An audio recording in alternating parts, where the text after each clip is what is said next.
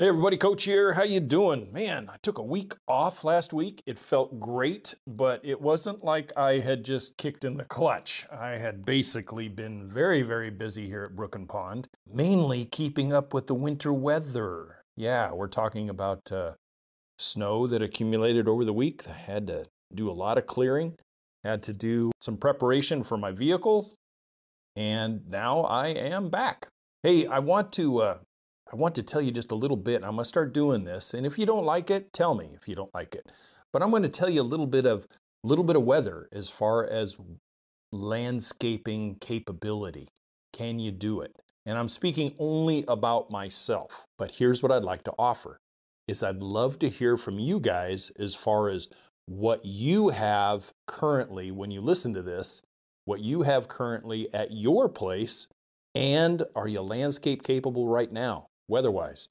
So without further ado, hey, I'm starting in with an overnight low of five, five degrees Fahrenheit, and a high today of only 18, maybe 20, but that's only going to be in the sun. I have ground freeze that goes down about four inches now, four to six inches, depending on whether you're in the shade or in the sun.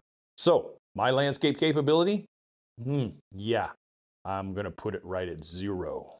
So today we are talking about the most current trends for landscaping in the residential world and what those trends look like for the 2024 season coming up, which is obviously just around the corner. So I appreciate you giving me that break last week, and I am back. Thanks for joining me, let's get started. Hey friends, Maestro here, just dropping a reminder to check out the podcast description for discount opportunities and any important links. Also, if you're listening to this podcast on a specific app, please don't forget to rate and review the show. It helps us grow and continue to provide these free podcasts. So let me get this off my chest right out of the gate, right at the top of the show here. And that is regarding the definition of trends. Now, trends are nice. You know, trends are ooh and ah in the magazines and in online pictures and stuff. Those trends are uh, what kind of inspire us, what lead us to say what could be out in the yard. However, however, they also lull you into a, uh, a sense of that's what I want. But are they really realistic? Are they realistic for the average DIYer and even realistic for some professionals. Not all professionals out there are capable of putting in some dream yards. They're capable of putting in standard yards, but when it comes to the fancies, some pros fall short. I knew where my limitations were when I did it, I'll tell you that. I didn't get into uh, pools, I didn't get into super fancy structural builds, nothing. You know, I was kind of a the blue collar landscaper. I was the one who was not the cheapest and certainly not the most expensive. And I catered to a niche market that could afford a professional, but not the off the top. I can remember a, a landscape job that was north of the town I was in. And this, this family had money, and I mean hundreds of millions of dollars and they contracted to a friend of mine to come out and landscape five acres. Five acres. And it was actually featured on a landscape uh, magazine. It took my friend three years to complete that. And it had everything from scaled down, take the grandkids on a locomotive train through the property. It had swimming ponds, it had huge waterfalls, it went on and on and on. And they spent close to $35 million on this landscape. Quite a, quite a uh, dreamy, lofty goal. And if you can afford it and you can find the right person to do it, boom, do it. But is the honest answer, this realistic goal, fall under the DIY umbrella? The honest answer is sure, maybe, Yes. Mm, and for some, no. Based on a few factors, based on a few factors at your disposal. And let me go over them. There's about five. Number one is time. Do you have the time? You know, if you're a, a single gal or a single a single guy and you have money, you have a good job, maybe you have a schedule that allows for you, uh, like if you're self-employed or uh, you have lots of days off during the month, or you're very seasonal and you can throw yourself into a multi-week, multi-month project, then you have the time. Most folks nowadays there's at least one of us in the family working full time, if not both. You got kids, you got pets, and you got stuff to do all the time. And sometimes time is the biggest culprit of turning people off and away from landscape improvements. Number two is the cost. Have you been saving? Have you been setting aside, you know, a, uh, a resource jar so that when this time comes about and you've done all that I might suggest in that 15 step DIY process that I have on the website, are you ready to absorb the cost? And there's lots of ways you can do it. You can you can go get onto one of these trendy these trendy landscape ideas and take out a second mortgage if you can afford it and throw it in, do a good job and you'll have a wonderful a wonderful new landscape. A lot of us were kind of at the mercy of that mortgage, and we really don't want to afford any more debt, uh, especially the way the world is right now. So, cost can sometimes be prohibitive. And how about the complexity of your landscape dream? Complexity really kind of hmm, it hinders us because we want it, we think we can do it until we get in the middle of it. I had so many calls over the years where people have leaped off the deep end of the pool, landscape wise, and then my phone rang and said, Can you come help us out? The other thing is availability. I mean, for the last three years, a lot of resources, materials, and that kind of stuff have been kind of on the scrimp side. And what was available was astronomically off the charts expensive. So availability might affect when you can actually do it. And finally, what is your skill set? Is your skill set capable of taking on something like this? If you do have the time, if you do have the money, and you know that things are available and the complexity does not scare you, do you have the skill set on which to do it?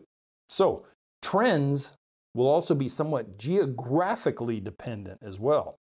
Kind of hard to do a Southwest desert theme up here in Maine, where I'm at mostly. But yeah, I mean, it's really kind of hard to do a desert landscape up here.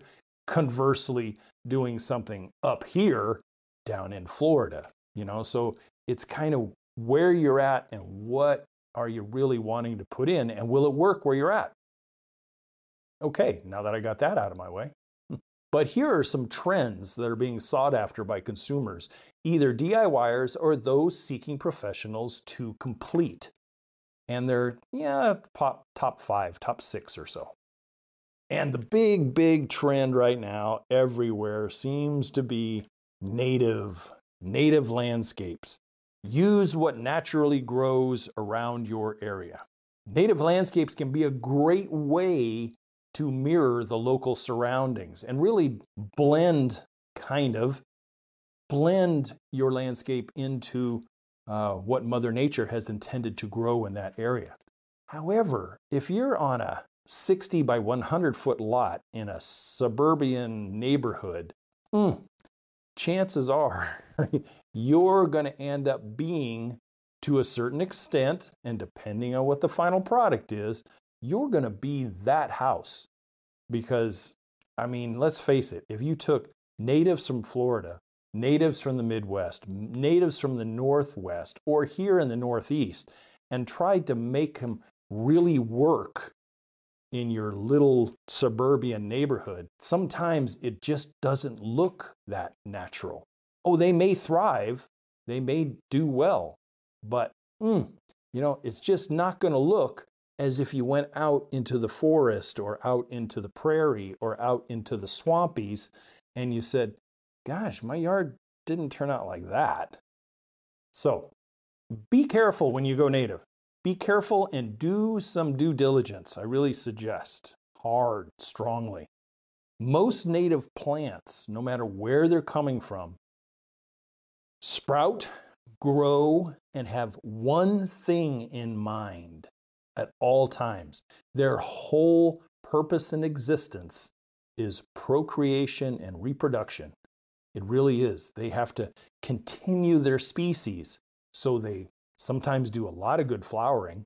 Sometimes they do some spreading. Sometimes they do some seed dispersal that isn't always, always a desired trait in a small residential yard.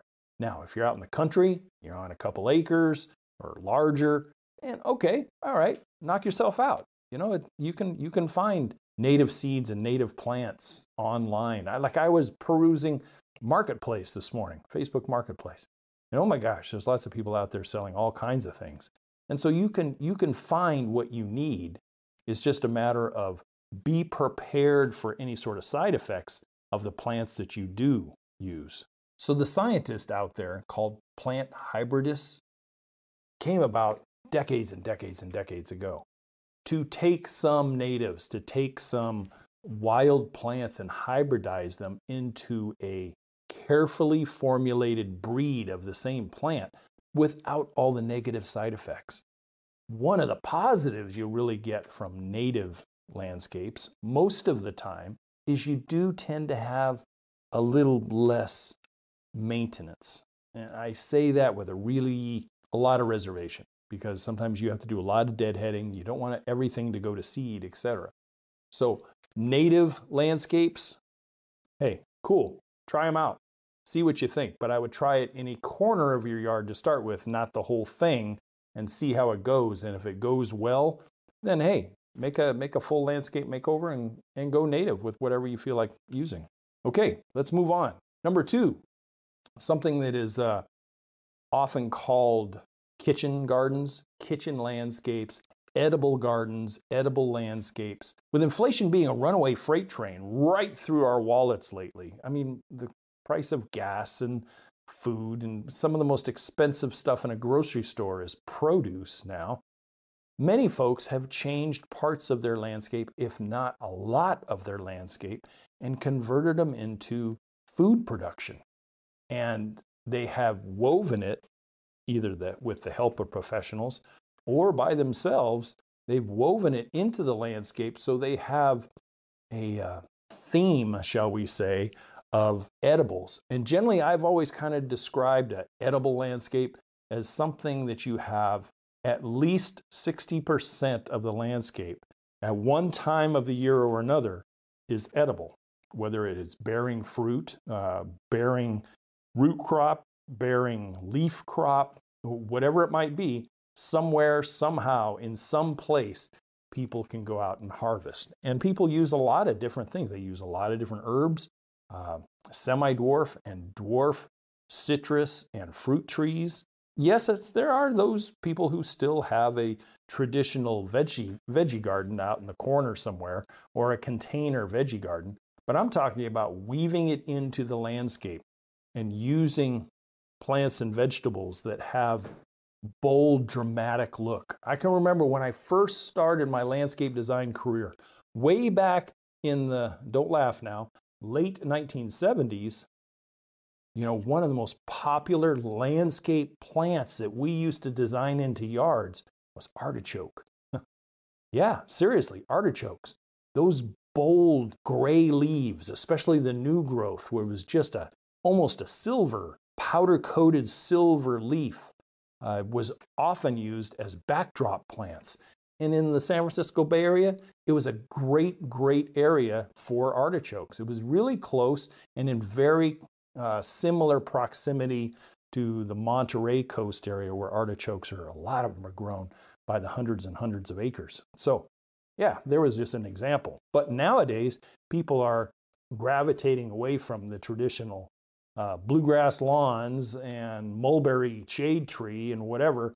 And now we're finding genetic dwarf fruit trees, semi dwarf fruit trees, berries on trellises, leafy greens and root crops, all being weaved into existing areas as means of supplying fresh crop and fresh produce right from your yard and right into your kitchen.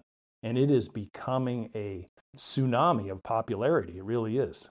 Okay, let's move on to number three Here's a theme that is based solely around, and I don't think this will ever go away as far as a trend, but uh, it's the privacy theme. You know, with a lot of uh, yards getting smaller, houses getting bigger, and still the popular two story home mixed in with the developer's one story affordability home mixed into developments, you're always going to have those homes that have privacy issues. And the privacy trend is, is something that uh, gets creative with a combination of fencing, screening, and uh, greenscape. It really is. So most of the, the trending type of privacy is horizontal screening around patios and around decking and stuff like that. Fence line plantings with arborvitaes, the narrow arborvitaes, many junipers, stuff like that. They get they get tall enough, although sometimes if you have a one-story home with a backyard and like a design that I had to do many years ago, you were surrounded surrounded on three different sides with two-story homes. It's going to be very, very hard to get a completed privacy when it comes to that. Your privacy is going to be based on uh, years down the road when things have grown up, hopefully. That's why out west, where I practiced, Italian cypress was so popular because it was fast growing and it got tall enough to even screen two story homes out from other homes. I don't suggest Italian cypress, it, it's got its issues. But what I did do and what I have seen now, and it's still a trend now and into the future. And that is more like privatizing your outdoor living area. Not necessarily all of your fence line, unless you're a very patient person, but to privatize your patio area, the views into your private areas of your home, uh, using screening, using greenscape, etc. So your bedroom windows, your bathroom windows, your patios, your barbecue area, etc. You don't have to have the nosy neighbor up in the in the bedroom window looking at you with binoculars or something. The downside to this style of landscape is time. Time is, uh, for the greenscape anyway, to grow. Now, I did a job many years ago where a similar situation like this happened. A, a guy, a local business owner where I worked, wanted to screen off the neighbor who moved in, who seemed to always want to, you know, peek through the fence and etc. So he ordered up some big emerald arborvitaes in balled and burlap out of Oregon and had them shipped down. And we're talking arborvitaes that were already 12 feet tall. And I had to plant them along a, a fence line. And when they got in and they got established, it was insta privacy. The house next to my client was a one story. The only thing separating them was a six foot fence. Now he had, minus the root ball now, he had easily 10 feet of privacy screen. And I had to put them about four feet on center. So they were almost touching when I put them in the ground. So something to think about. The privacy trend will always be there. There it just will. It's not something that's ever going away anytime soon. Okay, number four. This one is uh, this one is user dependent, shall we say? User dependent. It is the time and tested low maintenance trend in the landscape. This definition means many things to many people, but with families seemingly always having their tachometer in the red zone uh, because life and jobs and the world and everything is so fast paced, the landscape tends to uh, sometimes fall off our top three priority list. But these particular landscapes, uh, done correctly, allow for some forgiveness of the homeowner. And when I say that is, hey, if you missed a week, okay, no big deal. You know, come out and rake the leaves next week or pull a weed or two next month or whatever. Uh, it's not like having a, a large expanse of lawn that needs mowing during the growing season every week. And mostly I would say that the trend of low maintenance always lends itself to lawnless landscapes. Let's face it, the, the lawn itself, the element of turf, requires more water, more food, more maintenance, and more time of a homeowner than any other part of the landscape period. So, by converting it into a lawnless landscape and using things more along the lines of ground cover, small dwarf shrubberies, hardscape surfaces that maybe are a little more expansive, drip irrigations, maybe some lighting, and that is it, really curbs that uh, weekly maintenance and kind of lends itself to more like quarterly tidying up, if you get my meaning. For me, hey, even here at Brook and Pond, next year when I finally, knock on wood, I'm able to break ground, we will have a lawnless landscape. The lawn that is out here will probably be going bye bye, at least well over half of it, because it's just useless. It's a useless, huge, useless space of 12,000 square feet. My gosh, that's, uh, that's twice as much as some city residential lots, and it's in grass. And when we first moved in back in October, hey, I was out there every week mowing. So yeah, I'm not going back to that kind any, anymore. So with the low maintenance landscape, shrub, shrubberies and stuff are complemented with usually smaller trees and ground covers and then mulches and gravels and other things tend to cover the ground surface. And if you do it right, man, it was my bread and butter for many, many years. Lawnless landscape and converted it from a water thirsty. I can remember going from one of my clients in Galt, California. She went from a $300 a month water bill. And by the time we got things installed, somewhat established, so we're talking about three months after installation, her water bill went from $300 a month to 70. All of that was landscape factor, what was put in the ground. And we used a combination of gravel ground cover, fabrics, containers, some stuff in the ground, but not all of it, some existing, some were removed, and everything was converted to drip. And it worked out really well. She was very, very happy with that. Um, you know, if you figure you're saving $230 a month, hey, add that up and you get quite a return on your investment, that's for sure. Okay, let's move on to number five. Number five is a trend that will be around. Yeah, I'll use Brook and Pond as an example. Think about the title that we put to this place. It is the element of water in the landscape.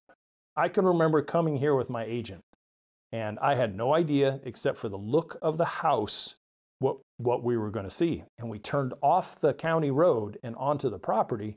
And the first thing we did is we passed over a perennial brook flowing in the middle of the summer, late summer, 1st of August, and it was still cranking. And I just went, oh my God, this is going to be the place. And we drove up the driveway and we saw the house. It looked basically like the pictures. And then I saw the pond. And the pond had a brook that came into it and a brook that flowed on the outflow of the earthen dam. And I had a second sound of water. Then the look of the pond itself, although I did spend the first three weeks just beating the hell out of the perimeter of the pond because it was it was neglected and overgrown. Uh, but hey, this year, resources allowing, be able to put a nice deck out there, put a bug room, because Maine does tend to get bugs in the early summertime, and be able to enjoy the pond out there as well. So, water elements and the trend of using water, flowing water, spilling water, whatever it might be, is a, a trend that is just timeless. You know, water elements in the landscape still remain a very popular trending theme to a sliding scale. If you look online, go to Aquascape's website, Atlantis Gardens, Tussey Landscaping. These guys are really, really off the hook experts in installing water themes uh, of all various sizes. Now, for me, when I was doing it, I remember my niche market dictated to me that the water features were always going to be smaller in scale, small pondless water features, self contained basin enclosed water features. And this fit the budgets of the clients that I did. But very, very popular and very, very DIY friendly. A little bit of knowledge, a little bit, uh, a, a weekend of online searching and online watching you could put these things in no problem whatsoever. And so people concentrate on the placement. Uh, for me as a designer, It was always you were going to have the sound of water where you wanted it most, whether that be falling asleep outside the master bedroom, seeing it from the family room, hearing it and seeing it when people, including the owners, came to their front door areas. These were, the placement was very, very important. And the cost, yeah, there, there's, a, there's an additional cost there. You got to get electricity to them, you know, or at least nearby, and then take care of them a little bit. I'll tell you one thing at Weed Patch Ranch, when Maestro and I sold, we had the nice pondless waterfall in the backyard, and we had the stacked slate urn out in the front yard. And you want to talk about a wildlife magnet? Holy crap. There was birds, there was frogs, there was toads, there was uh, lizards, there were birds, there were coyotes, there were raccoons, there were skunks, there were ground squirrels. We were, especially in the heat of the summer, the standing source of water for a lot of wildlife within a reasonable area. And I can remember coming outside and finding two coyotes, you know, asleep on my front lawn out there underneath an olive tree uh, with the water feature just a few feet away. So it was really kind of neat. Uh, lots of lots of pictures, lots of uh, satisfaction with having a water feature in my landscape, and you can too. It's not that hard. I would say for a stacked slate urn uh, with a 45 inch basin and a pump with a little bit of electric available to you, you can have that thing in as a rookie. You can have that thing in less than a day. For me, it generally took about eh, depending on how hard it was to dig, less than four hours. So water features are definitely going to be a part. And there's so many sizes and styles. Your imagination and your checkbook are the only limitations. So check them out. Number six is going to be uh, lovingly referred to as escape pods.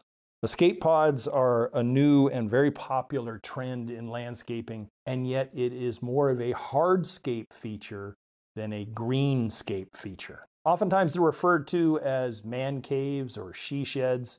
Uh, incorporating these dwellings, shall we say, incorporating these sheds, I like to call them retreats, are very, very popular. It's kind of almost like a, a Star Trek theme, you know, beam me out, Scotty. Get me out of the house, away from the kids, away from the phone, away from computers, blah, blah, blah, and be able to go off into your retreat your escape pod, where you can go in and do, watch, listen, create, whatever it is uh, out in these spaces. Uh, I've seen them as woodworking, I've seen them as artist studios, uh, I have seen them as multi television game day cold beer kegger party palaces, whatever. This day and age are not just for yard tools anymore. They are sheds that provide a retreat and a de stressor, shall we say, with various degrees of completion based on your budget again. I mean, you can go down to a box store, buy yourself a, a dinky one, and have it delivered and placed in your yard, and then you can do whatever you want to it. You don't even have to build the dang thing. You can have it placed right in your yard. The only thing you got to be worried about is obviously the size based on your available space. What is going to get sacrificed if you're taking something out? And of course, if you're in the ever loving realm of HOA rules, ick, you may have to uh, appeal to the board. Let's hope you're not in that situation. Again, I have seen the Taj Mahal versions online and I've seen people spending, you know, God knows how much, you know, $50,000 to create these things. Now, some people are they are literally part of their home-based business. It is their office. It is their uh, livelihood where they go to. They have a huge commute from their kitchen door out back right to their office in the backyard, and that's where they conduct their work. And I think that's very, very uh, smart. Don't bother dad and mom while they're working unless you absolutely have to. And it's an easy way to uh, create surroundings around you that are very personable rather than going to a sticks and bricks office all the time. All right, our last one the ever present drought tolerant landscape. Uh, this is such a, a catch all in this day and age. Basically, hey, sands the lawn and select some useful low maintenance alternatives, like I mentioned in the low maintenance part. Drip irrigate the thing, and boom, drought tolerance is achieved. Don't overthink it. Now, do you want to kick it up a notch or two or 10? Okay, then try if you're if you're in an area of the country or world where droughts do come and go and you cannot predict them. I strongly suggest that by adding a rain capturing system, if you're allowed to do, if if the government allows you to capture water out of the sky, there are some municipalities and states where this is not legal. Screw you guys. You know, it's water coming out of the sky and I can either use water coming out of the tap to water my landscape, or I can capture it and use it during the times of drought, where I can still have a green landscape, still have veggies and fruit trees and whatever. And then you go one more level and create a solar system that can actually power a 12 volt pump and automation. And now you've kind of been an off grid landscape. You really are.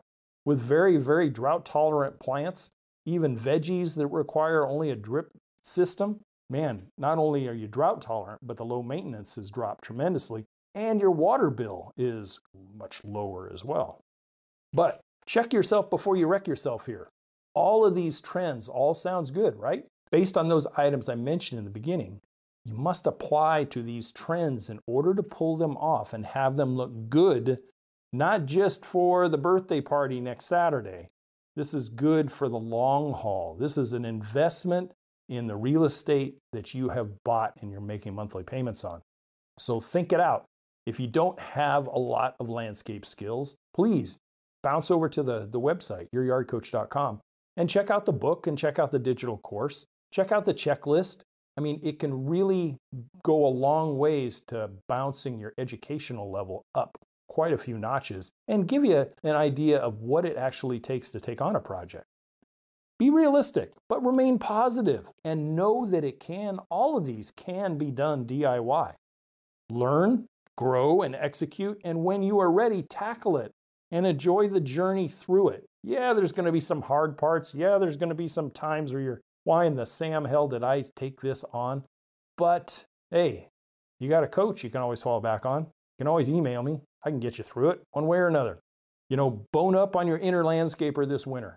Just remember that education and knowledge is power, and that empowerment can go a long ways to actually seriously considering you being able to do it. And a landscape bill at the end of the project that's probably 50% less than if you went out and hired. So check it out. Hey, as always, I really appreciate any support you do over on the website. As always, to your landscape success, and I'll catch you guys next Friday. Really appreciate your time. I know this is coming in uh, December of 2023, so I always say happy holidays. Hope everything's going well. Bye for now, guys.